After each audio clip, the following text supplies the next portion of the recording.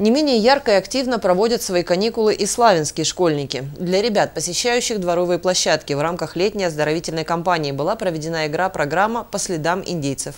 Перед началом увлекательного квеста ребята при помощи аквагрима и разноцветных перьев перевоплотились в индейцев. Для того, чтобы полностью вжиться в роль, они произнесли торжественную клятву, а после отправились в захватывающее, полное препятствий и загадок путешествие по тропам индейцев. Настоящим приключением стала встреча с индейским вождем, который прочитал зашифрованное послание, в строках которого были спрятаны явления природы. После юные следопыты отправились проверять свои способности на творческих и спортивных станциях станциях. Их было девять. Следопыт, ловец снов, рисуночное письмо, танцевальное, шаманское, меткий стрелок, рыбалка, завтрак индейца, самый умный индейец. По итогам игры лучше всех с поставленными задачами справилась команда с улицы Стаханова 1 дробь 1. Второе место заняла команда Адолы, улица Коммунистическая. Третья команда Чунга-Чанга, улица Дельская 330. Ребята получили множество позитивных эмоций, а победители конкурса – грамоты и памятные призы.